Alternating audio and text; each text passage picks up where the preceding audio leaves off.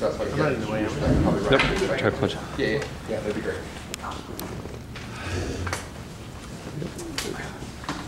That's a conversation. Hoping against hope it happens sometime this week. I mean, it's it's exactly, it's It's my pleasure to introduce William Stein from the University of Washington. Having that conversation happens. Telling us uh, on convergence in the Sato-Tate conjecture. Certainly my motivation. Thanks. Thank the organizers again. You should thank Clay. And Clay, definitely Clay. So the purpose of this talk is um, basically to take a very initial first step towards maybe trying to find some next questions to ask now that so much is known about the Sato-Tate conjecture due to work of Taylor and many other people. So tell you the main purpose of the talk. The second purpose is to give some illustrations about how um, visualization can be useful in fairly abstract areas of number theory in ways that we don't usually use it. So um, here's the basic definitions. You have an elliptic curve E. Throughout the entire talk, it'll be assumed to not have complex multiplication. And um, you consider the numbers a sub p, which are p plus 1 minus the number of points in the curve. There's a theorem of Hasse which says that if you normalize them by dividing by 2 root p, you get numbers that are between minus 1 and 1. So for each prime number p, you have a number between minus 1 and 1.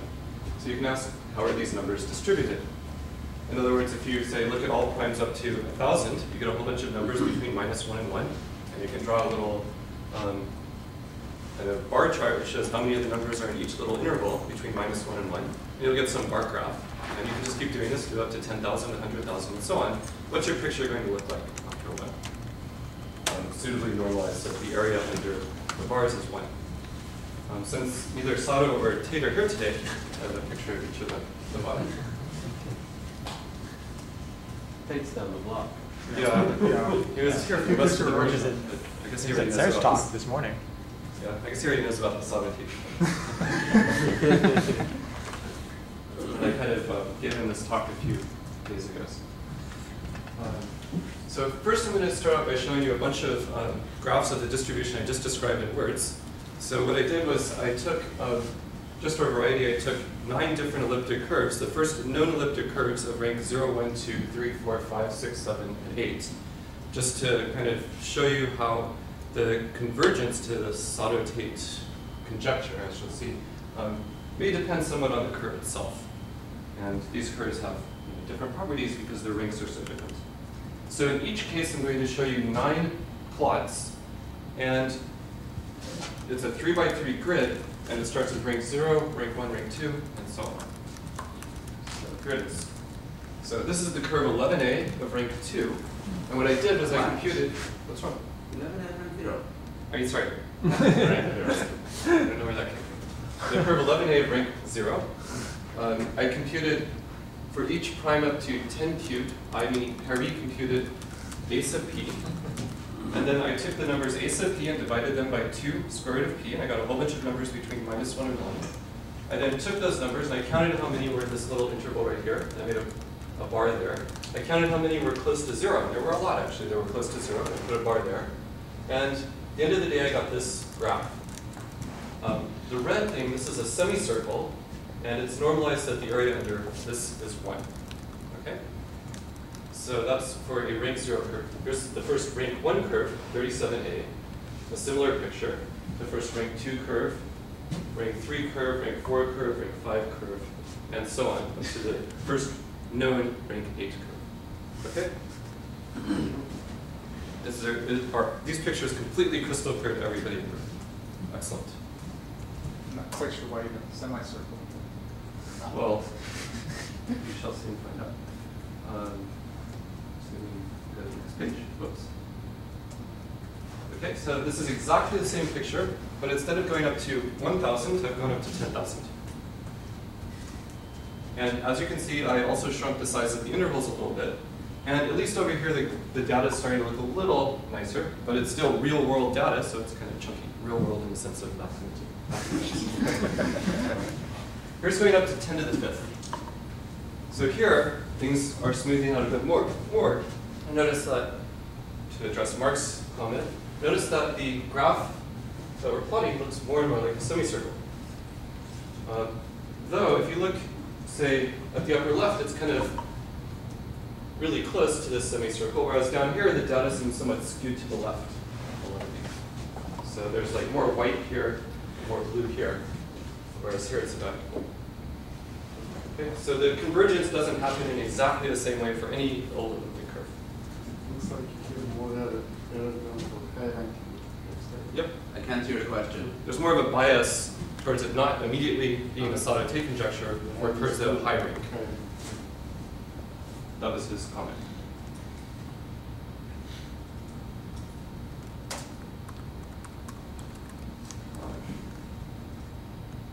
Where did UP get from? Oops. Sorry, uh, oh, I guess that's last one. Ah, 10 to the 6. so I just went up to a million now, and now it looks really, really good. I mean, look at this. So the Tate conjecture is simply the assertion that if you take any non-CM elliptic curve over Q, draw this picture, and keep increasing the range, it's going to get closer and closer to the semicircle in a precise mathematical sense. But that's the Tate conjecture. Mind you, are these the primes up to a million or the first million primes? These are the primes up to a million, not the first million primes. So, question, um, how can we precisely quantify convergence of the blue data to the red semicircle distributions? So just in case you're about to raise your hand and ask that. so, I mean, if you look at it, you kind of want, you maybe want to do that because, well, as a lot of people here probably know, the Sato-Tate conjecture for most elliptic curves is a theorem now. So we do know that in the limit, this blue distribution converges to the theoretical distribution. But now you know you want to ask another question, because you're never satisfied with what you know. Um, so you want to know how quickly it converges. So what, what are some ways that statisticians say quantify how quickly some data that they gather converges to some theoretical distribution? So Barry, you asked somebody at Stanford who's named, I think you asked a statistician at Stanford about this question. Uh, oh, Susan Holmes, just Susan about how to picture these things. How to She- picture the convergence. Well, she, she apparently doesn't like these, like these bin, bins, but I, I prefer them. But she's a statistician, so she knows. She likes these QQ plots. She prefers QQ plots. Yeah. Yeah. What is it you keep I'm actually, I don't like QQ plots, so I'm not going to show you, but it's a, it's a sort of, a, it's a graph that looks almost like a diagonal line. And the, the difference between it and a diagonal line measures how good the convergence is. The G coefficient, no. Okay. So um, I'm going to introduce some notation. You can make the notation a bit more complicated by, for example, uh, restricting to little intervals and asking the same questions, but I won't do that in this talk, so that things are easy to remember and think about. Moreover, to make all this easy to remember, I simply copied it on the blackboard. So um, there are three formulas, well, four now, I guess, on the blackboard. The first one um, is simply a kind of formulaic way of writing the area under this little, you know, the first interval from minus 1 to t of this semicircle. That's all it is. And you might think, I mean, you could put a constant factor out here so that the area is 1, but you cancel out. Uh, the second is the number of primes p up to c, so that when you draw that, those blue pictures I was drawing before, you get something in here, divided by the total number of primes. In other words, it's a, the, in the limit, these two are, are almost the same, or they are the same in the limit. But um, before taking the limit, if you say take c to be a thousand, um, this is the theoretical distribution, and this is what you actually see in practice, and there's some different discrepancy between the two. We want to measure that precisely. So to find the following delta, we measure the difference between these two for a given value of c. It's the L2 norm of the difference between these two functions on the interval from minus 1 to 1, which is just the integral from minus 1 to 1 of the square of the difference, square root. So it's just some number that measures the difference between the blue graph that I drew and the red graph. Okay?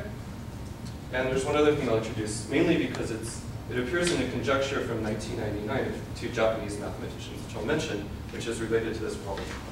Delta infinity it's just the L2 norm of the difference of these two. Namely, so that's the, the max, I guess the supremum because I, um, well, but max is fine for this, um, uh, the difference of these two functions. So it's something that, say, computationally is a little easier to compute, um, and maybe theoretically a little easier to understand. This is, in some ways, it's harder to compute and maybe a little more refined, measure of the difference. Because it takes into account exactly what happens the whole way. Can you say what the Sato-Tate conjecture? Yes. What formally said in terms of these things? is? Sure.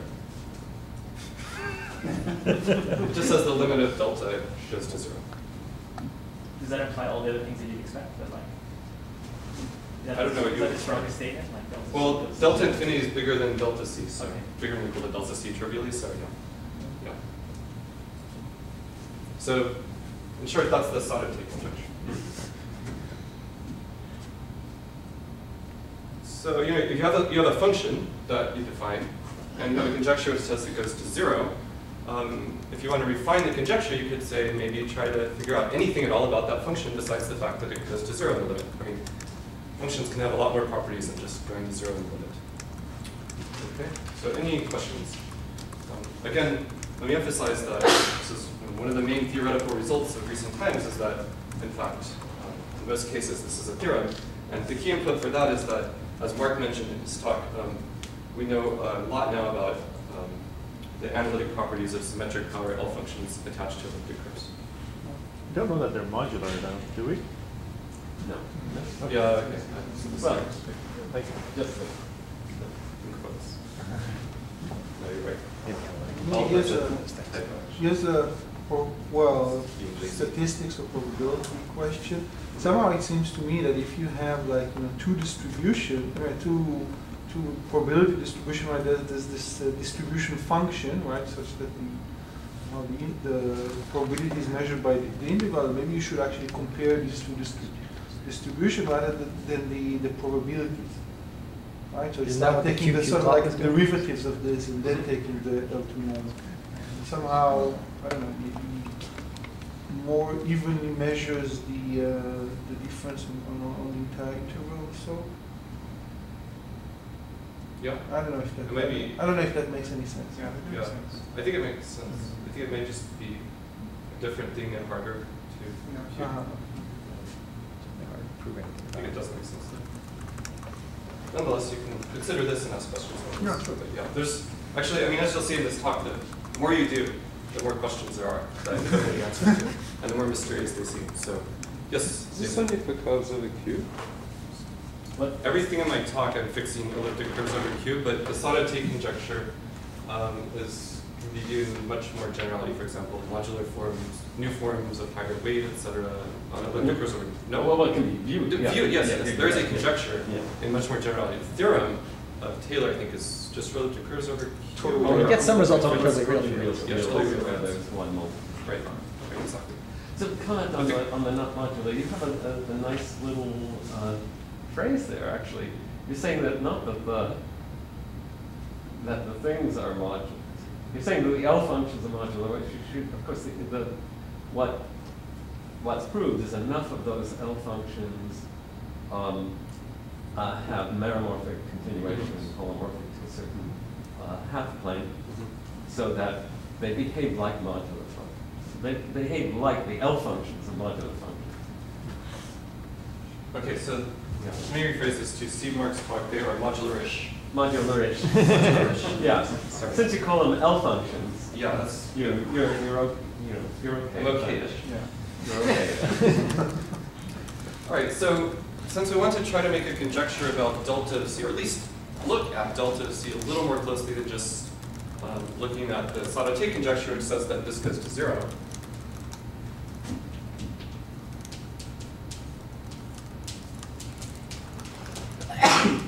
A very natural thing that any calculus student would do would be to um, plot delta of C as a function of C. And what I've done here is I've added two things, delta and delta sub infinity of C, which is the L infinity norm.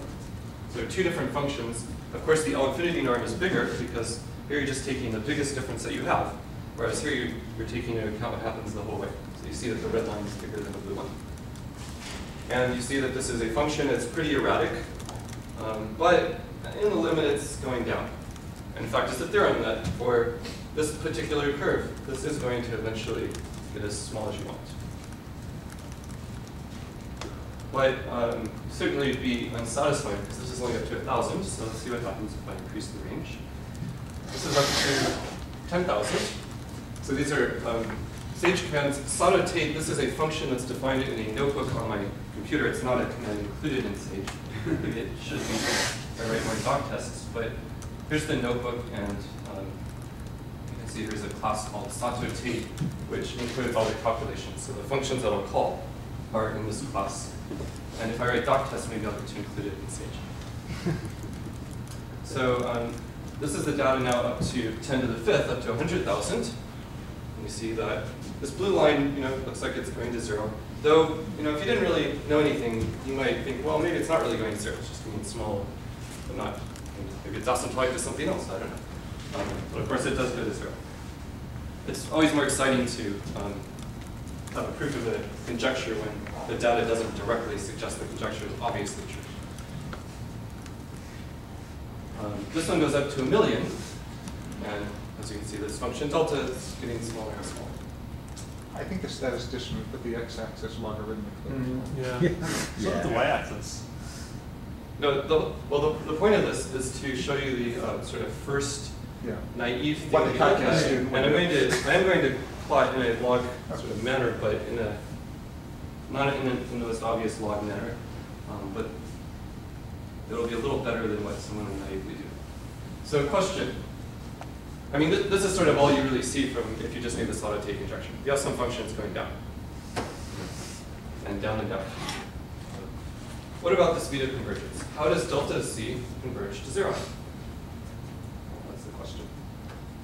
So here's a conjecture which um, is due to Akiyama and Tanigawa, which is in Math Comp from 1999. And it says the following. Um, it's actually, their conjecture is a bit more refined than what I stated here. So this is just special case of Lope conjecture. For every epsilon greater than zero and for C sufficiently large, delta C is less than 1 over square root of c minus epsilon. In other words, basically this function delta c, roughly speaking, it's like 1 over square root of c, which, as you know, goes to 0. Let me put quotes here. 1 over square root of c certainly goes to 0 as c goes to infinity. But already a statement like this is much, much more refined than just saying delta goes to 0 as c goes to infinity. You have a function like 1 over c to a much, much, much uh, smaller power than one half, and it's still go to zero. So inspired by this conjecture, actually, I didn't know about this conjecture when Barry suggested looking at the following, but um, for expositional purposes, inspired by this conjecture, let's consider a new function log base c of delta c, or minus that. Now, this is some function that's, that if delta c were equal to 1 over square root of c, this would just be 1 half right? So let's see how close this function looks to one half. Oh, Oh, please. Um, yeah, Minus minus. Okay, cool. Oh, Yeah, I, I can see the minus. yeah, so there's lots of hands, which is good. Because I don't have lots of slides. Yes, uh, Demetrius. So, uh, what made them state this conjecture? Like, are, were they just looking for a statement which would imply the generalized Riemann hypothesis? Well, I, no, I don't think so. I here's a here's a guess. If you see the Chebotarev density is a baby version of substitution. If you think it. Yes. Sort of zero dimensional. Yeah. And in Chebotarev density, that is what you It's the, the. what you what get it is. given the generalized Riemann hypothesis. So, yeah. Oh, go ahead. No, that's it. So, so, so they're, they're, they're, they're, they're starting with that tradition, I believe, and then they're. David. Is that conjecture equivalent to GRH, that alpha? Uh, He, um, um, uh, Akiyama just emailed me saying that he's gonna try to prove it. Is it just? Not, not this conjecture, I think that's a slightly stronger conjecture that they have, which, um, uh, which is of the same, of the same ilk. But that stronger conjecture, he wants, he hasn't quite, but he, he believes it. Wait. Is the right statement going to be that it it should be equivalent to GRH for just E, or should it also be equi- for symmetric GRE, for E and all the symmetric powers? Okay, well, in their paper, they just do it for E, but in my little expository paper, I just, I do it for all symmetric powers. And to go the other way, you would presumably want all the, Yeah. There's a paper Symmetric called- powers. And as Barry just mentioned, there's a paper coming up in the notices, which has a nice It's, discussion. it's balanced, by the way. Dang it, why do I keep? That's all right. I, I I continually use that. oh, These are.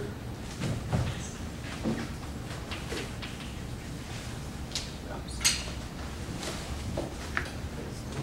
Okay, uh, more questions about this? Wait, I, I I have a question about your comment.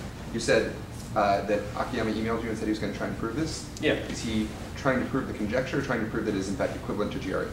Oh, no, no, no, he's, he wouldn't bring. Yeah, yeah, okay, okay. I just wanted to make sure. No, no, he's just trying to prove the equivalence. Okay, yeah, of that- that's what I thought. I his just Conjecture, wanted but to slightly confirm. stronger this with, Yeah. uh, Yeah. with So GR. essentially saying So- the conjecture assuming GRH. So, so what happens if? He's proving the conjecture, if you wish, assuming GR. Yeah, yeah. Yes, yes. I'm not quite sure that actually. but for. And, and- and for I mean, from my point of view, when I, from my point of view, when I found out about this, I kind of breathed a sigh of relief because um, no matter what sort of things I say through the rest of this talk, nobody's going to expect me to prove any of it. uh, So if you replace delta C infinity by just delta C, Yeah. do, do you get like uh, some qualitative difference, like strong You'll see. statement? You'll see. Okay. In the limit, there's not really much of a difference. So let's see. So let's test out this uh, conjecture. Um, as if you see a conjecture like this in a paper, it might be good to do some calculations and see if it seems at all reasonable. And as I mentioned over here, what we're going to do is simply plot minus log c of delta c.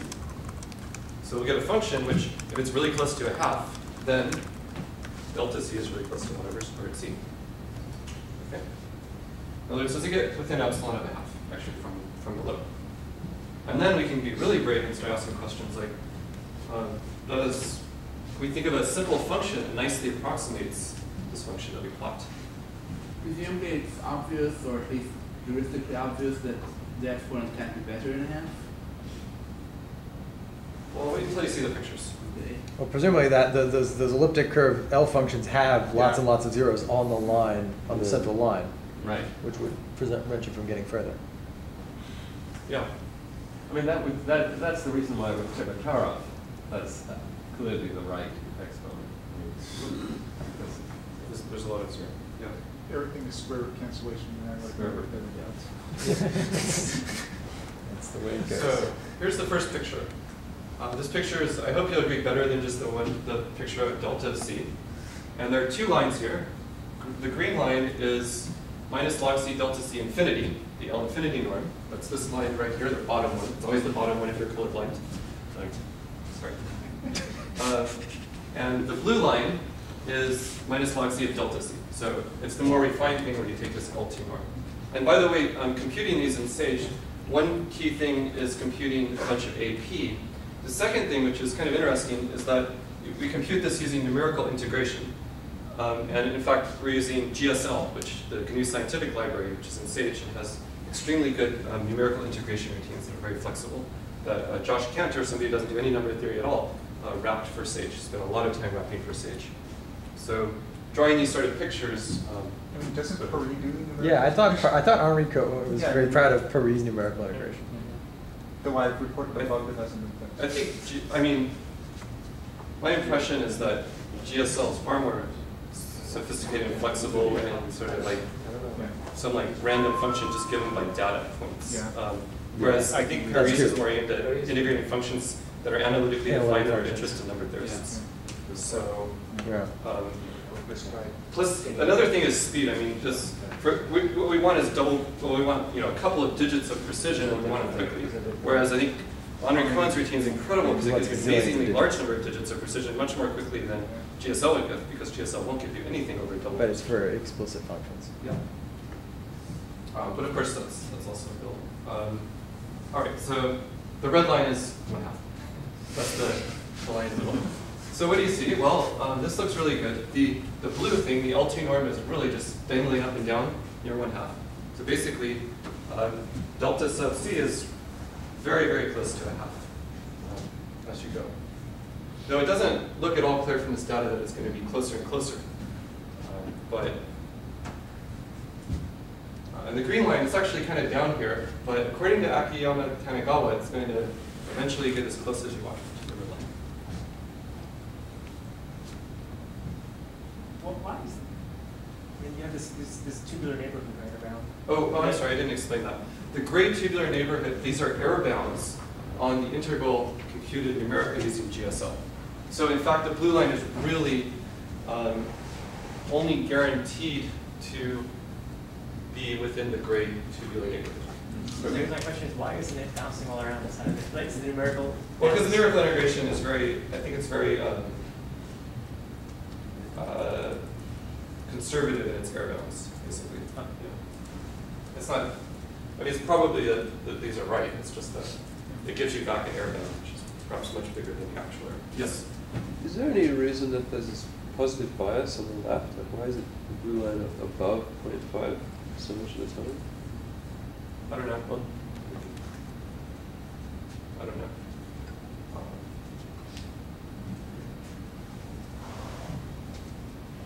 Probably a simple reason. Okay, another curve. This is a curve of rank 1, 37A. And the picture looks very much the same. Okay, uh, Okay, so just roughly, how long did it take to compute all the data for that picture? That's a great question. Um, computing the AP up to 10 to the 6 takes, I don't know, about 8 or 9, 10, you know, something like, depends on the computer, but under 10 seconds on my laptop. Um, then drawing the additional graph takes about the same amount of time. Okay. I mean, so, so, I mean, if you wanted to, you could very easily, like on Sage Map, extend this to ten to the 7. I will, I will make a remark about that at the end of the talk, but since you asked me to, well, I'll make a remark about that at the end of the Okay, talk. that's cool. um, Which will be more, much more detailed, okay? So, yes, it will be good to extend this much further. Okay, so um, 37A, 389A, you notice here it's a little different. Um, A difference here is, of course, there are more zeros, so the L function really low. Um, Because 389A has analytic rank 2, so it's a double zero. And it's below. And you might, I mean, if you're really naive, you might think maybe this blue line just wiggles around here and never gets up close to the red line. But I'm definitely, I'm going to conjecture that it, as you'll see, um, that it certainly does in a fairly precise way. Continuing, here's um, the first curve of rank three, and it gets pushed down a little more. But again, um, the conjecture is just go to a half. Again, there's no actual proof that it can stay below half forever. There can't be what? Sorry, say it again. Oh, I'm sorry, it's below half, it's not a matter of being above the line, sorry. Yeah, yeah. Um, yeah. Going even further, here's um, the first known rank four curve, and the first uh, rank four curve of, uh, well, I don't know actually. See, there's no prime conductor curve that's smaller rank. Yeah, exactly. Um, so here, it's actually a little lower yet, but the picture looks roughly the same, but a little lower. Yeah, but it's not, I mean, these pictures are not completely convincing that it's actually get, get to a half. You certainly need more data. Absolutely, and in fact, that's what I want to convey to you right now, is it's not at all convincing that this sort of conjecture may, I mean, a, a conjecture that in the limit, this is basically one over c. Such, such a brief conjecture should be true. It's not completely obvious from the data. In fact, the data almost, well, certainly for a while would convince me hmm. completely the opposite. Again, this sort of tension. So does that does that suggest that it's more like one over c to the point four or something? Yeah, so there's a, there's a zero of a some, some It's symmetric certainly L good to me, function off the line. Is, is there a Siegel formula or that you can exhibit the zeros or something? I mean, or is this that when you talk about zeros, is that heuristic or is it based on, on actual? What do you mean, zeros of the L No, it, function? it's, uh, It it is heuristic. Yeah, it's heuristic, yeah. So, I mean, I mean, presumably you could hope for some sort of asymptotic expansion for this. You can hope for it, but it's not. But the, f- but uh, if you if you think about it, the the format is different from the explicit formulas. Yes. It seems. I mean, quite different. But it'd be great to have an asymptotic formula. Um, a curve break five, a little farther down. A curve of rank six. Where these curves around six, seven, eight, and something come from? I think Tom Womack's webpage or Ah. something. Yeah. I think this is in our paper. Or maybe This one here, but the seven and eight one might be some difference. Okay. Here we go. a rank seven curve. Oh, I mean, does that really go up That's, there? that's disturbing. But you know, it's really weird. I, I'm going to convince you within a half hour that this definitely goes up. Well, I already believe the co- I'm going to theoretical. convince you I already believe the conjecture on based- based on theoretical grounds. data, without believing the conjecture. Um, okay, rank eight. Um, now, How many more slides have you got? Numb's here. Rank 28. Okay, so- That's terrible. but I mean, by the way, think about it. The, the plot I'm drawing. It doesn't. I mean, the complexity doesn't depend on the conductor, which is kind of interesting because uh, you get some feeling for something about the rank of the curve. Doing a calculation whose complexity doesn't depend on the conductor, or maybe you don't. I don't know. I mean, you get some feeling about the low lying zeros. at least. Oh, okay, so now I have a question. Yes. Did you try drawing the same plots for fixed rank, but varying the conductor and see what happens? I'll show you. I did, and in fact, interesting things. I mean, it's really. The, I think it's more the low lying zeros rather than the rank. Okay, I mean, the main reason I'm choosing curves with large rank is just to get a bunch of zeros real. yeah. So Um, did you try a curve with a low lying zero? That is not. Well, I'll show you some data in a second. So, yeah. So, I mean, but the big question right now is, are they really going to a half? And the main point here is I've exhibited a bunch of examples where it's not obvious that they, they are from the data. So, and, and another just basic question that I think very interesting is, um, given these, this, you know, that now that you've defined this function delta, is there some way to predict, in some sense, its behavior not just in the limit, say going to one half, but its actual, actual structure in terms of something involving the arithmetic of the elliptic curve. Probably not, but maybe at least involving the zeros of the L function of the curve. But I don't know. We shall see. Okay, so now here's, here's um, an observation. We take this, here's another example of a rank zero curve, but I actually, it's a random curve in the sense that I just type some random digits on the keyboard. It's the only sense in which it's random. So you can see there's one, two, three, four, so maybe I'm not that good at a random number generator.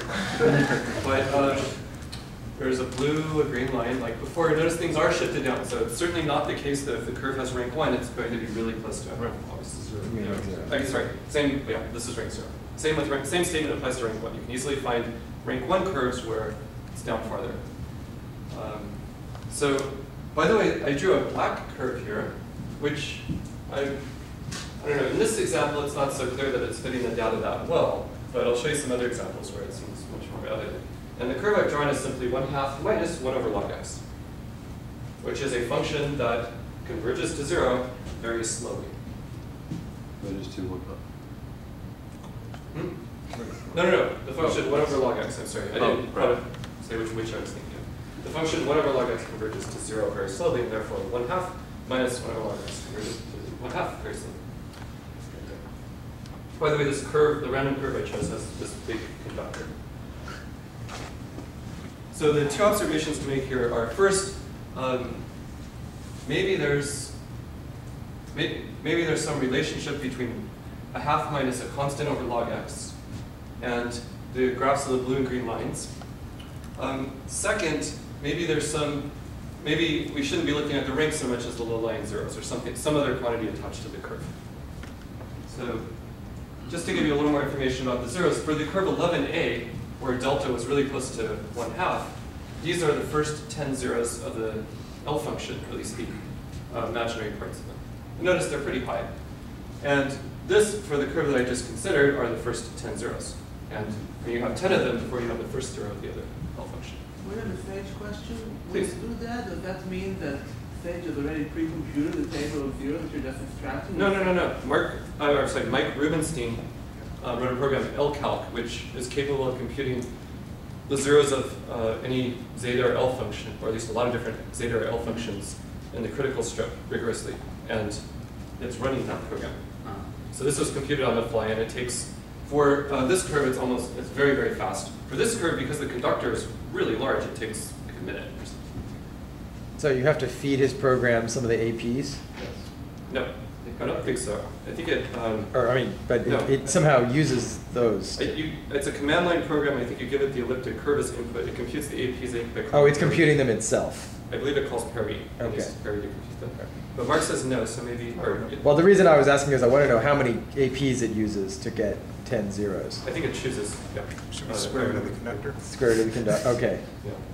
Oh, so it, it it does grow with the conductor Yeah. significantly. No, no, it's power to one has to. Yeah, okay, good, excellent. So LCalc uses PARI for various things such as, such as uh, EAP. Okay. Okay. So one bit of this.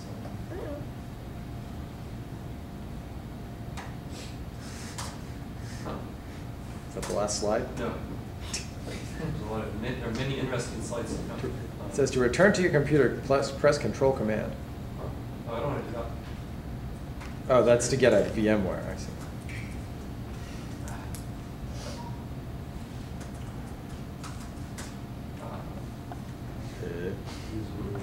Yeah, maybe OS ten is making a list of all my.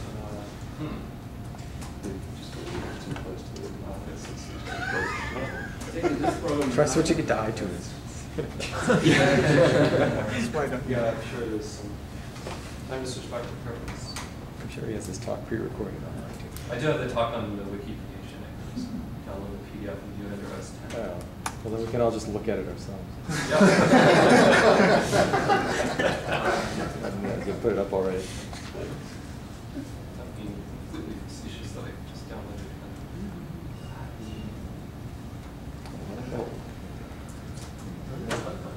Didn't crash, it just is slow. I'm sure if I wait one minute, it'll suddenly. I'm way too impatient, and this should be.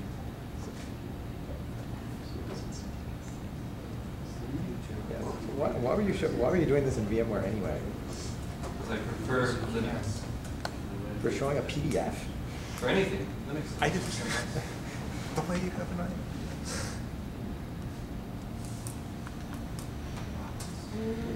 Virtual machines? VMware is not so good though. Yeah, I mean, I don't care about it. I think VMware does a terrible job with resource management. Yeah, operating, Compared to whatever the operating system is involved, not VM. Why aren't you using kernel? It's clearly better for showing a PDF on a screen. Kernels doesn't support 64-bit guest OSs, Oh, which is, I just switched using uh, VMware recently to see why this, and it has its pros and cons. But I think that ceasing to work in the middle of a presentation is a significant con.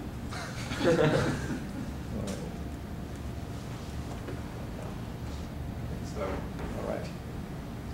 Oh, well, I'm on the next I slide. hope you can wait 11 seconds.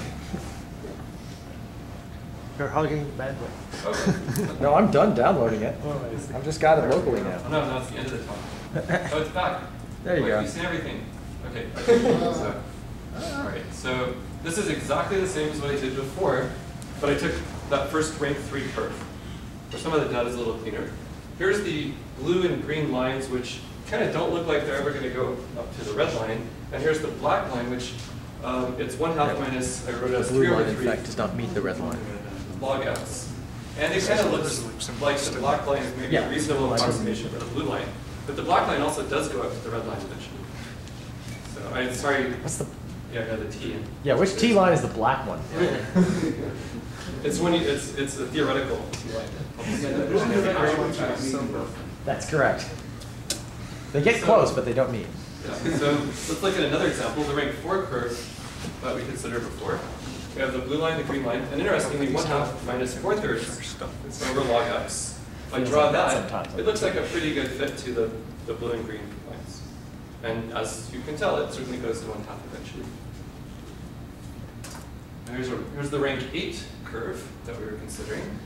And I put one half minus, this, I played around with a bunch of fractions and this one seems to be the best one. Um, I haven't had time to write a program that computes um, as a function of this constant that I put here, say the L2 norm of the difference of the black line and the blue line and then plots that, but I will do that soon. But, I mean, you're, you're only fitting against curves that go to one half, so why is that supposed to convince me that, you're only giving me options that tend to one half, so why is that supposed to convince me that the curve tends to one half? I mean, if you did it Yeah, it should have a two variable. You should have like another You should have parameter. A minus B over log x Yeah. and do a double fit. And if A is very, So- and if you get A extremely close to one half, then I'll be convinced. Sorry to not convince you. This convinces me though. Here's the rank 28 curve. You just ran So interestingly, um, if you draw the rank 28 curve and then you consider the graph of the function 1 half minus 28 over 9 log x, you have the blue curve, the green curve, and this graph. And they kind of look similar, don't they? So you have three before Yep. and nine now. Any idea? And it's, not, it's certainly not just a function of the rank, um, but it's something involving the zeros. But no, I don't have an idea. It's very mysterious because if you change this to 29 or 27, it doesn't look that close. Why does it have to be rational? Yeah. It doesn't. I'm just giving you some pictures. Twenty-eight over twenty-seven. Before that it was four thirds. Yep. Four thirds. Twenty-eight over. Yeah. Well, no, it'll just be way off. My primary goal with drawing these pictures was to simply get you to want to ask questions. So this is- um, David. So, I'm doing the data when you back. say changing the 28 over 9 at all, Yeah, well, what I, I mean, sorry, do you mean changing by the, similar changing the fractions with numerator. small, Changing the numerator, obviously, changing it at all. That's a, that would be a ridiculous statement. But if you change it to 27 or 29, for example, Yeah, picture with the log, like with the base being the log as uh, Mark suggested, like the The x-axis. Yeah, the x-axis being the log. Mhm. What? You don't have a picture where the x-axis is in uh, logs. yet. No. That would be kind of helpful. Then it would be one over X. rather than- Uh, If you don't have a connection between these rational numbers and the curve, we might as well put a real number there. Yeah. Well, yeah. It may be a real number, it may be Yeah, some. I'm just, Right. I'm showing you a Some- picture, that's all. I mean, I'm not, I'm not making a definition. Maybe some function of the I'm low- stating lowest vector. zero. I'm just showing you a Yeah. picture that is kind of surprising. Yeah. That's all. That's all I'm doing. That would make, s- yeah, it would make sense for it to be some function of the lowest zero. Yeah. But it- it's. Now, skip to this. So, how about let's define, since you really want to, um, for an elliptic curve and a specific choice of C. So you have one specific picture, and I don't know if this definition makes sense yet because I just made it an hour and a half ago.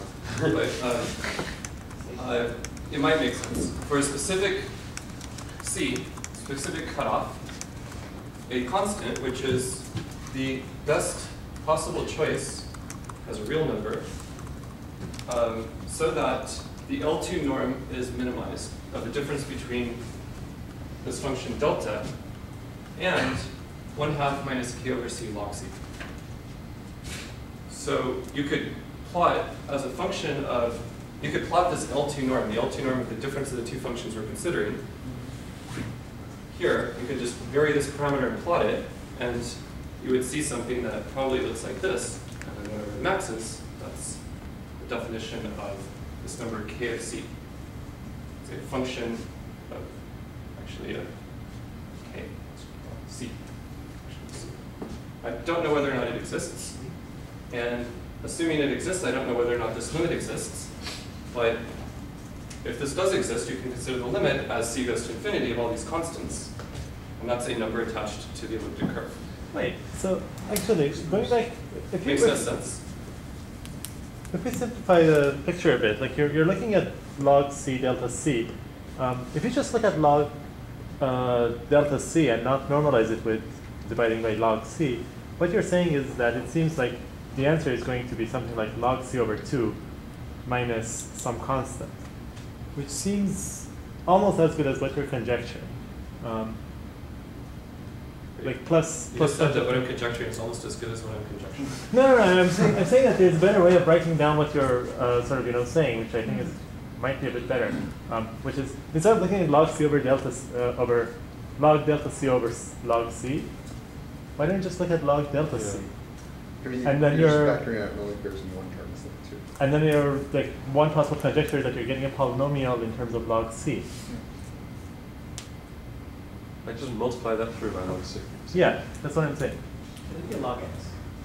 There's no log x anywhere in the picture, except the x-axis, which I've inclined C throughout.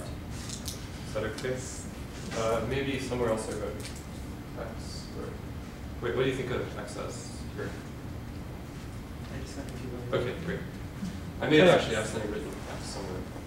Um, Anyways, don't don't worry about that comment. I'll talk to you about My only defense is this is, this perspective is exactly what Eric suggested. Actually, I suggested more, I suggested more curves to fit. I mean, for Yeah, yeah, no, example- no, that's later on, several Uh, months ago. Oh, actually. oh. Yeah. From the, I mean, from the beginning, it really. Yeah, I, yeah, I, fixated I, on I like the one half for some reason. I like the one half. I also Um, do. I, I do. yeah. Uh, but of course, you know, if you exponentiate it, let us say, all of these are in the exponent, the one half. Sure. Shazam. Ah, go, go ahead. Okay, yeah, there, there. I like that formula, that blue formula. Is it blue or purple? It's bluish. Okay. Okay, so Barry, you can. Well, just, uh, just, you see what we, what, what you, yeah. The general, if you think of the random matrix people, when they try to, uh, uh, curve fit, they have three parameters really, a constant A, power of the log z, and a power, the, the actual power of X, C. And of course, this is just a kind of curve fitting sort of thing. And um, uh, if you if you think of what's going to happen, uh, especially for your data, the c equals a half is clearly a good a good bet. The a and the b up for grabs at the moment, and that's the challenge. Try to figure out whether first there is an a and a b, whether they depend upon uh, low-lying zeros or um, uh, as, as was suggested, maybe there's some sort of asymptotic formula. But the secret one half, I think both of us Right. are, I think that are convinced. Sarush about. is in a sense saying he isn't. The A and B, we're not, we're not convinced, you know, we're, we're, I would think that A should be one over E and not E here, but that's just a minor takeout, I think. No, I'm, I'm not saying that I'm not convinced. I just think that there's to- a slightly better plot that might give a better idea of what the pictures should be. But I'll talk to you about it later. I mean, my experience with this so far is that every single time I look at the data, there's like ten different things that are nicer that you can do. That's true. And more, it's really open-ended. That's good. That's what enough research is about.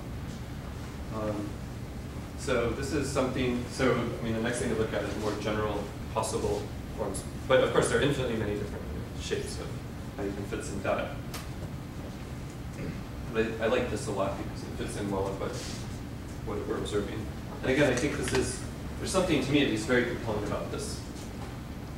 It certainly makes me think that the blue and green lines do go to one half. I don't know about you, maybe not Kiran, but personally.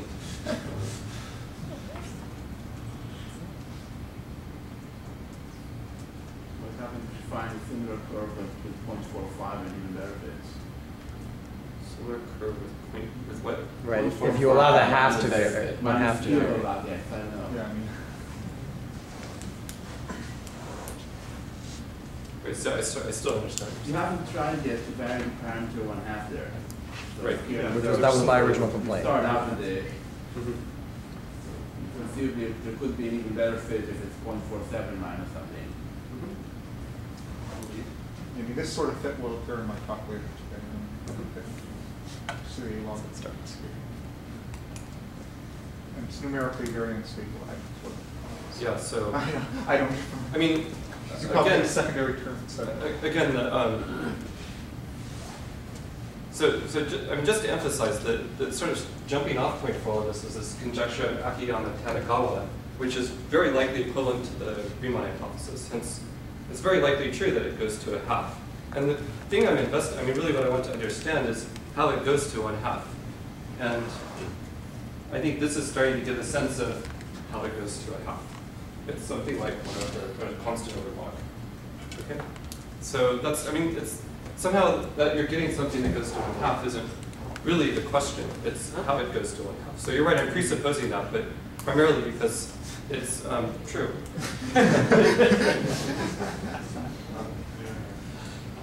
so again, this definition may or may not be a good one. Um, some other things to do, and I'm almost done with my talk now. One thing you could do is instead of integrating from minus one to one and so on, you can restrict to little subintervals. Then you have a distribution there. And you can ask whether the same sorts of things happen. It's a very natural thing to do. Yeah, I was actually going to ask something Okay. related to this. Please. So, uh, when you measure this function x of t, why don't you take the integral from minus t to t and then let t go to one? Yeah. So why don't you, it's like a bit more symmetric. It's not, and what happens? Why don't I? Because Barry told me to do this. No, no, no, that's absolutely right. You can go No, but I mean, you can go what for I meant saying any is- A to any B. Yeah, you The certainly symmetric could. one is an interesting one. Yeah. And you get, you get interesting data with that. Yeah, I, I'm not saying it's wrong, I'm just, just, just the first thing we did Because so they, far. like, you said that they stated the conjecture from minus one to t, right? Well, you have to, so they, the Akiyama Tanigawa, this is a special case of something much, sort of more general that they, state, where they integrate um, some function um, that's defined on the interval from minus one to one. So you can, you can um, encode a lot of different questions like that in terms of their conjecture. Wait, I, I don't think I understand your question because it sounds to me that you can exactly say. Like the functions are just going to be No, shifted. the point is, you, you start from zero, from the. uh, yeah, yeah, and, and that's just going to be a y-axis, and then you constant. start, By, by additivity and integrals, that's just going to be plus or minus a constant. So you're just shifting the two functions by some value. And when you're looking at the differences, those are cancel, like you should cancel out in the limit at least. No, no, no, he's, he's, you look at the data, AP over two squared of t, and he is computing the data in this big interval. Uh-huh. Suppose you chose another interval, replace the minus one by some number and the t by some other number. Okay. Then you're computing the data in that Oh, so, so it's, interval. it's asking for what happens if you look Yeah. at it at the smaller. Okay. Smaller interval, and then you, you, you make the, the integral, the x of t, t- suit, to suit. But, but if, if you were going to go for like the symmetric one, as Yeah. my understanding was going from minus t to t, mm-hmm. that's the same thing as replacing the top one with. Oh, I see. So those are not exactly No, the not same. exactly. Okay.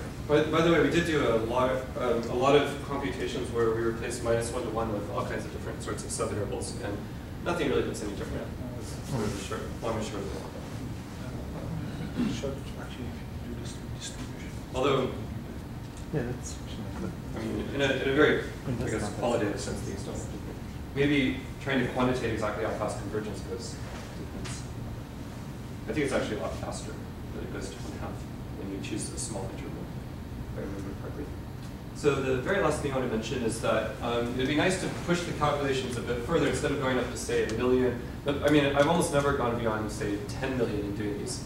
Uh, every calculation I just showed you, the entire thing, I did all of those, uh, almost all of those this morning in my hotel room on my laptop. So that tells you about the amount of time it takes for the ones I've shown you. Um, it would nice, it would be nice to push them up to 10 to the ninth, say, or 10 to the eighth. You know, wait a couple of hours maybe for the whole thing. Or as it turns out, maybe not so long. Um, Drew, who's right there, who's a postdoc at MIT, has um, just surprised me by, um, he has some C code, I mean C code. that, uh, Not italics. Quite a lot of C code actually, that computes the AP on elliptic curve and some the similar calculations on Jacobian, for Jacobians of hyperelliptic curves. And it's extraordinarily fast. Moreover, it's multi-threaded. So you drop his program, he drops his program on sage.math, builds it, and um, it's pretty impressive. So one benchmark that he did yesterday, um, which I'll be a little vague about, it, because he didn't exactly do that benchmark, he did something slightly harder. Or you- Um, or actually, you could talk. Sure, Why Sly. is that your demo for you? You can take it on to, uh, Probably can. This would be great. just use a logging my. I mean, the long and short of it is it's freaking fast. um, Cursos, uh, S- SSH, Brew, SSH. There we are. So, should I log in? So is getting up to ten to the ninth gonna make Kiran convinced that? Or is it just going to be uh, one of these? Well, doing that and Yeah, fitting and yeah. and doing a curve fit where you vary the parameter one half.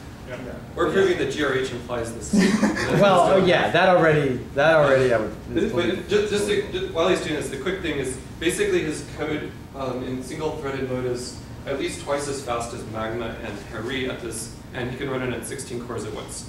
So you get 30 over 30 times faster than anything I have access to right now. So Wow. pick a curve, AX plus B, I just need to know. Uh, doesn't What really are, matter. what are the ones that it's still going to go not much closer, isn't it? To- And yes, Yeah, I mean, it's like nine sixths of Yes. speed. In its No, no, but it gives you computation more. I mean, Does he because of actually the need curve shared fit, memory? Yeah. you get No, more. I don't, no, you should. That's So one. you That's that's you the point. parallelize is this You get much more Yes. Is it more Well, data. You I should guess, go to parallelize Now- any of them, just run sixteen copies of very Magma and take every. unoptimized. I Yeah. just compiled it yesterday, so it's, yeah, they're not plugged with thread. And this could be done over a network, uh, there's no reason they don't have to actually be shared. Oh, is it like a, an MPI program? What is it? Is it a C program? So right now, it's a C program using pipes. It should be Cool. Wow, switched to a program that uses sockets, in which case it could just as easily run distributed over. And what's the meaning of these numbers that are? So the- those how many of Uh, these? it's how many primes It's a student progress report. So, um, So we're going up to. So is the speed increase here wow. due Yeah. to, so this should, depending on what other people are doing right now, should get too long. There we go. There you Um, so so is forty percent. Wow. So I took sort of maybe a different way of uh, testing conversions. These are the moments of the, um, of A1 or AP. Oh, Um. So, you know, the expected value is one, the, so it- as- according to Sato-Tate, we would expect these, the odd moments should be zero, and then the uh, even moments should be Catalan numbers, one, two, five, uh, fourteen, forty-two, 132. 32. And if you look at this, sort of doing the same idea of gradually increasing the number of primes you're going to, you can also look at how these odd moments go to zero, and you see a pretty nice smooth descent. That, by the way, that's, a, uh, that's another good way to measure the, the rate of convergence, is to, to measure the convergence of the moments. And then there's also uh, a. That's in some sense how you prove Yes. standard tape, right? Is proving the convergence of the moments. Moments are equivalent to distributions.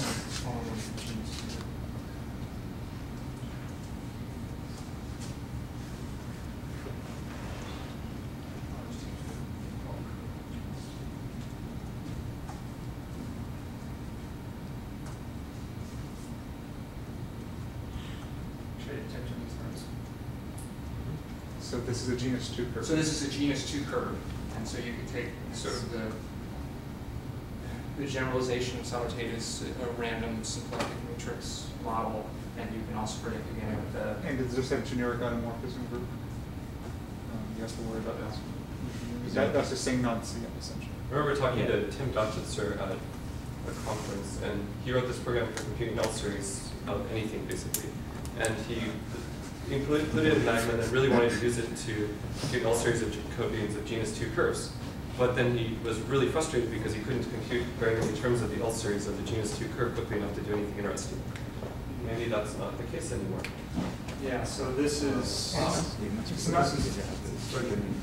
so it's about the same. So this was to all primes up to a million for genus two curve, and here's the one moments. And again, we should expect this to go, I think, one, three, four, two, four.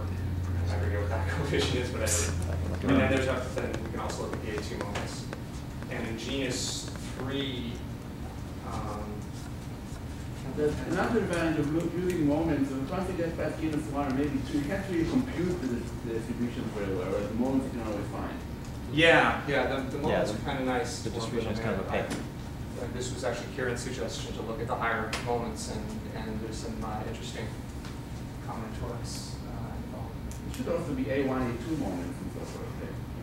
Yeah, so I have both the A one and the A Yes, two yes. moments. And actually, slightly better than the A1, A2 moments are the, are the power sum moments. Yes. Yeah, yeah. Those, those have nice, those have nicer combinatorics. Yeah, A one to the I, A two to the J, what I was thinking of. Right, but it's, it- you want, you want S1 to the I, S2 to the J, and so Fine, on. Those, those are, those are slightly better. But those are equivalent, right? Yeah, it's the same data, but the, it's slightly easier to, to describe this, the power sum moments, I think. Um, there's a singularity of two thousand three hundred forty-seven. Oh, oh well, Is this a prime bad reduction? presumably. Yeah, yeah, bad reduction. Well, you just ignore these. Yeah, it should things. check. There's gonna be some, there's gonna be some of them somewhere. This one might take a while, So let's see. Actually, since it's Sage Days, maybe you could hit Control C and give us a one minute tour of your code. Maybe- Maybe do ls on the directory that was code. Yeah. You could okay. say, here's a bunch of code. Oh boy. Um, Yeah, it's We're a C. off in elements. Um, It's pretty bad. You s- I don't know if you say anything about what's in there at all. Yeah, so, one minute. Um, Magma polyfilter. So in genus one, it's pretty straightforward. It's just uh, baby step, giant steps. Um, you know, maybe the only thing that is clever that makes it particularly fast is using a parallel version of the baby steps, giant steps algorithm. By parallel, I mean you doing the group operations in parallel. So if you use a, an affine representation for the elliptic curve group law and use uh, Montgomery um, trip to do invert field inversions in parallel, um, you can do get about a 3x speed up in the group operation. So just doing the um,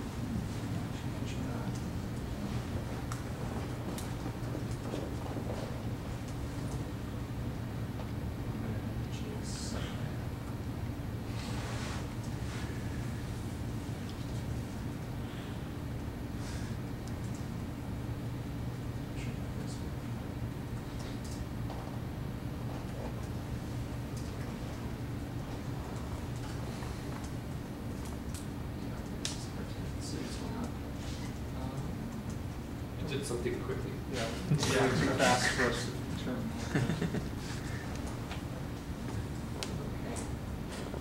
Yeah, this is, I will take the time to rebuild now. Anyway, the point is, um, doing the group operation in parallel is about three times, uh, is about three times faster. By that I mean if you, rather than doing a baby steps, giant steps where you're computing sort of each baby step and giant step separately, if you can arrange it to sort of have like a bunch of babies and a bunch of giants marching in parallel, it's faster. And then the other thing that makes it, so that's in genus one. In genus two and three, it's a lot more interesting because you're not just, um, you need to compute, you know, all of the coefficients of the L polynomial. So in, in genus two, I was kind of surprised that actually counting points over the, um, the fastest thing to do there is to count points to get A1 and then do baby giant steps to get A2, which is kind of surprising because the doing baby steps, giant steps over the whole interval would be sort of an O of P to the three fourths, and counting points over FP is O of P. But counting points over FP can be done really fast, and so for primes less than about three million, I found it faster to do that and then do baby steps, giant steps. And then the genus three one was is sort of the most challenging because there's the, the most cases involved. But it's interesting in genus three, it's always better, it's always worth first counting um, points over FP and then doing baby steps, giant steps, because the, the point counting is O of P, and then you've got an O of P problem left on the group operations. Um, and then the only other thing maybe worth mentioning, I don't have a slide, but you get very nice pictures if you plot. Um, so this is my low tech. Windows 1.0.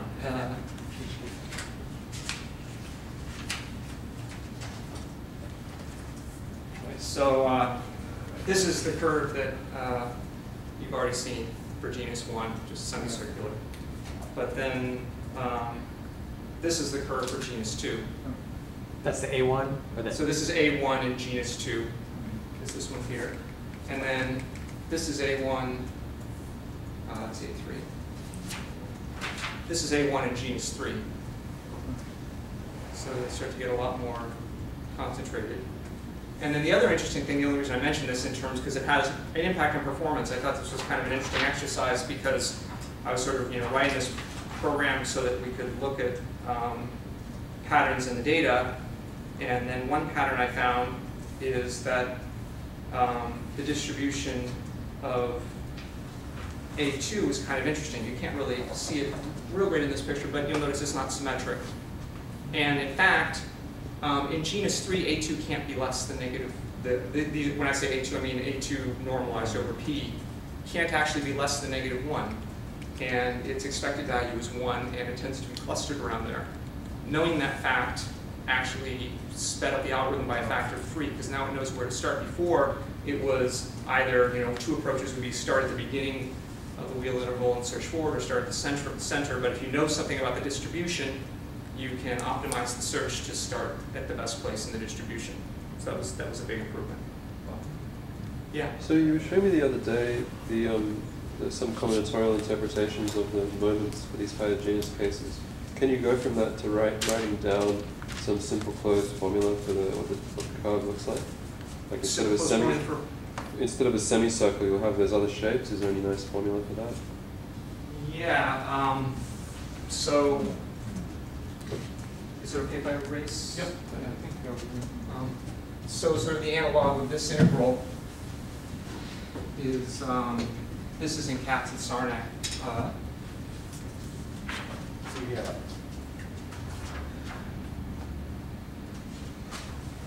Um, make sure I don't write it down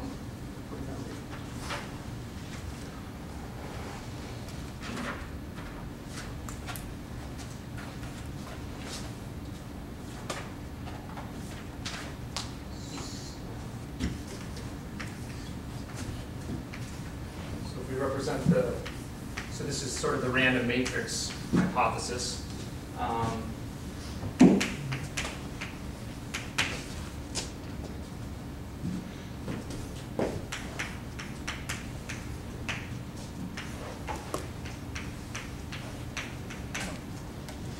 So these uh, theta i's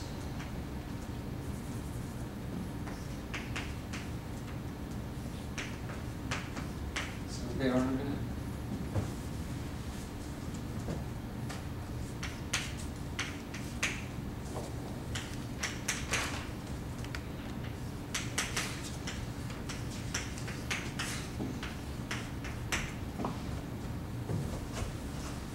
So if your curve has um, characteristic polynomial whose roots are theta i minus theta i, um, i goes from 1 to g, and we choose the theta i to all be between 0 and pi. Um, so in uh, when g is 1, you wind up with um, just um, that, and when g is 2, you're going to get some, this I think you have 2 over 5 here, is 2, you're going to get something like this.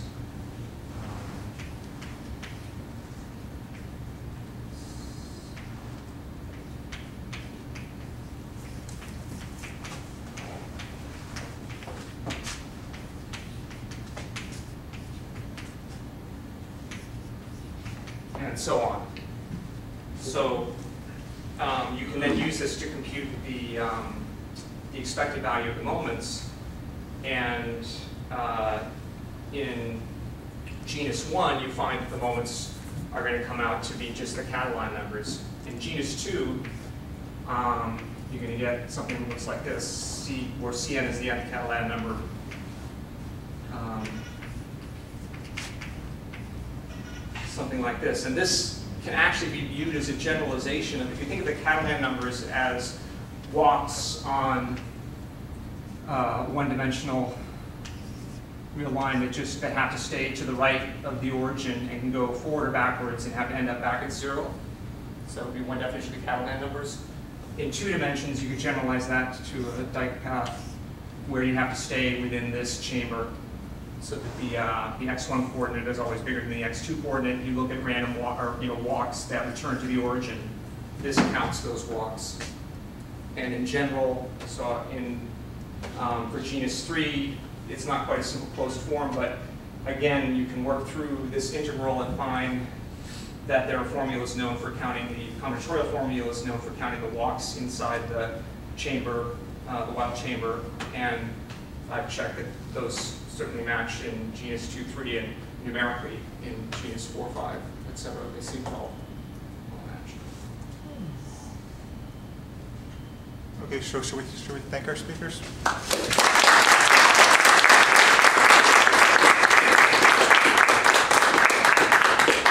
Are there any other questions? So one thing you never mentioned is that um, for a rank R curve, the A sub p should be on average negative R, not zero. I mean, this follows from BSD and the Euler product, just fixing a big zero. I mean, this will get swamped when you divide out Yeah. R, R, R over twice the square root of p. But could that be a manifestation of why you, on why in your first slides you saw everything shift? Yeah, definitely. Uh, that might, yeah, that, maybe that would give you a, a better curve fit if you accounted for, I mean, slightly better curve fit on the small end, the small end. Yeah. To account for that. That's true. That's true. Yes. Yeah, so, um, you have this, like you, uh, when you prove the Sato-Tate conjecture, you, you do it by some estimates of some uh, file sums. If you know uh, a better, if you know the error term in these estimates, does it tell us anything about the error term in the, in the Sato-Tate? Uh,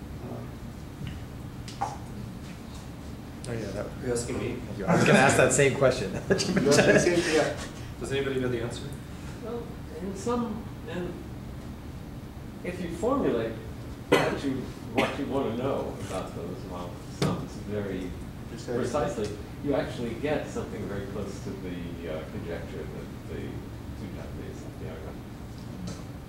You know, uh, So has anyone tried to do this? or, uh, Well, uh, numerically, I think uh, William has. Have you looked at the, have looked at, have sort of, so the, so the point is you pick some, some non-trivial character of SU two Yes. and then you, you sort of, you sum over the conjugacy classes that you're Right. getting. Exactly. And, I mean, yeah, so, Yeah. do we know what the numbers look like for those? Well, now, now, you- now you're getting to uh, the way uh, the Japanese paper formulated. I mean, it's really, Right. they take an arbitrary function Mm-hmm. um, Okay. from uh, a function on the in- interval, and they either integrate it uh, over the integral, or they sort of integrate it by taking averages of values of that function on the data.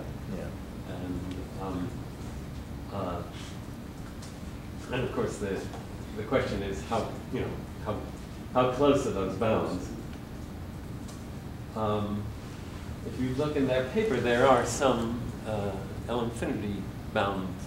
Pictures. But I think William has been essentially doing this just for uh, specific uh, characteristic functions. Right. Just for characteristic functions. Well, could you put up the last slide? They went back from before I transferred. well, The the- very last slide? Yeah. Yes, sure. So these are just some timings. So, um, Magma is not my fastest code. in Sage and Magma, I PARI and Magma, computing the AP up to 10 to the 7th takes that amount of time, 94 seconds and 81 seconds.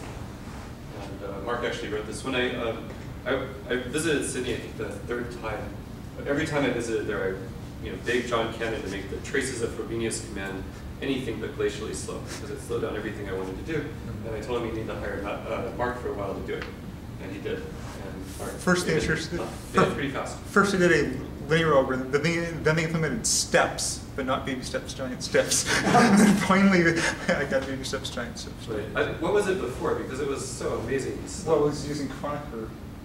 Oh, yeah, yeah. I see. But these are, all these are both running single-threaded, right? I mean. Yes, they're both single threaded. So, And, well, so I think you guys did some comparisons yesterday or the day before or something, um, where you assumed yours, was- you, you, you ran your single thread and it was still two or three times faster.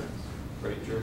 Faster. And actually, but Mark made a good suggestion that I think would help speed up my code a bit for Well, small. So, uh, when you get big enough, um, so I just find, I search, I start in the center of the interval and I look for the first exponent um, of the, uh, I pick a, pick a random group element and I'm searching the, the Weil interval for uh, an exponent of that group element. And I find the first one, and then I actually have to factor that number to verify, to actually compute the order of the group element. And Mark's suggestion was, why bother doing that? Search the whole interval, and if there's only one exponent, you're done, and if there's two, two. you can take their difference, and you've got a much smaller number to deal with. Nice. When it gets big enough, Yeah, it's I not worth doing that, but for small ones, I think it would speed up the code a bit. So yeah, these are the times. By the way, just occurred to me, so something that's sort of unrelated, but um, I've been looking a lot at Fourier coefficients of, of modular forms of weight 2 level n defined over a quadratic field, and looking at how many are integers. And um, the data makes it very clear, and some heuristics make it very clear that you should conjecture they're infinitely many. And this is somehow an analog of Gnome's theorem that there are infinitely many AP that are zero for an elliptic curve. And um, the calculations I've been doing so far are just using modular symbols, so it actually takes quite a while to go up to even 10,000.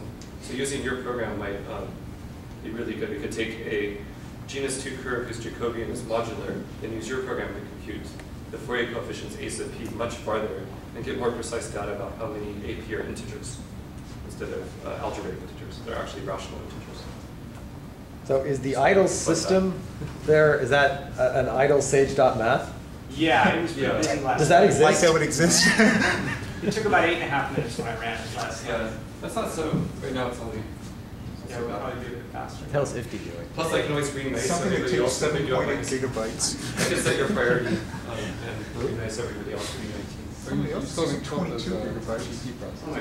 Which ones? Oh, The are those prices? now. What is that? The two GPs that, you said those were running off the notebook and the changes. No, this is, yeah, oh, yeah, I didn't mean to do that. Oh, you can do that within Talk. Are there any other questions? Oh, you could use. Yeah, um, how much communication over is involved in between the different uh, threads?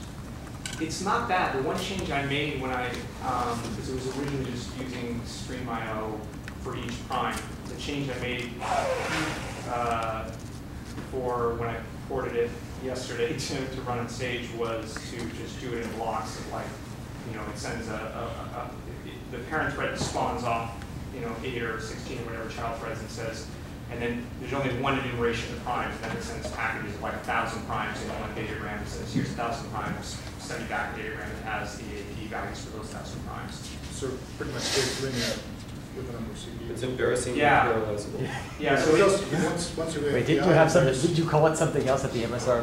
Probably parallelizable. That's what undergrad came up Yeah, it's linear. Yeah, sorry, yeah, I ran, it was linear up to eight, and then once I got past eight, it stopped being so, from eight to sixteen, it wasn't so linear, but then I realized that was because there were other people using the computer.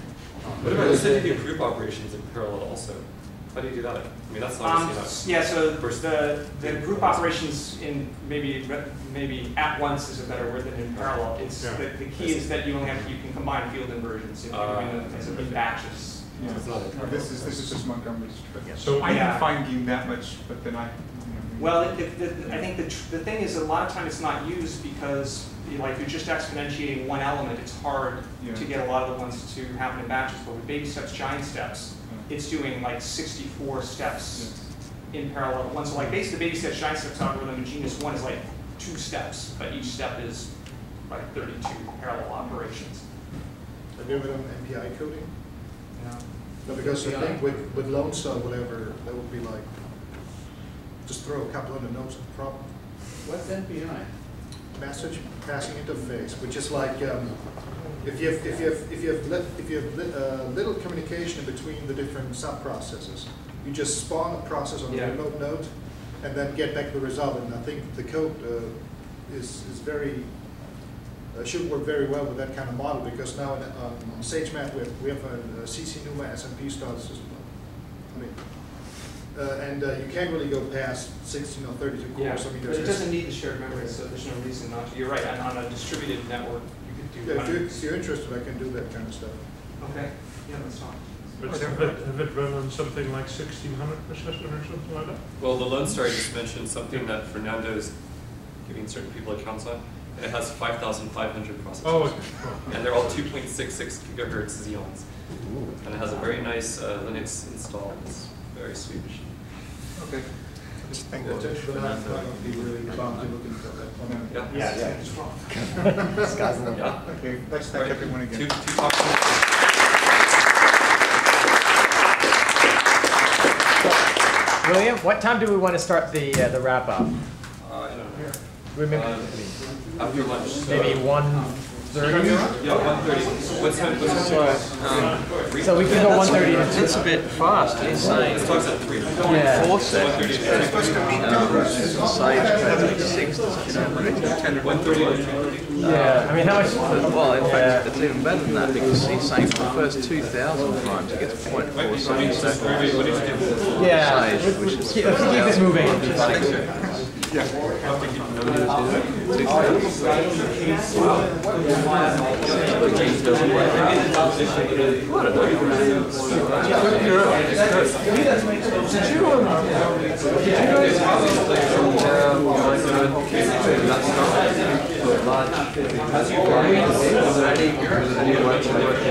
Well, yeah, we haven't hit, basically, we haven't hit. I mean, certainly in, well, it depends on which genus. Genus one, the cutoff is, is on like ten feet. Genus two, the cutoff is So it's actually, closer in, uh, but it's still probably like, I'm guessing it's something like 10 or 12 or 15 or something, so we haven't hit it yet. And in genus 3, we're basically feathering around the cutoff. Close to the point where we should switch over.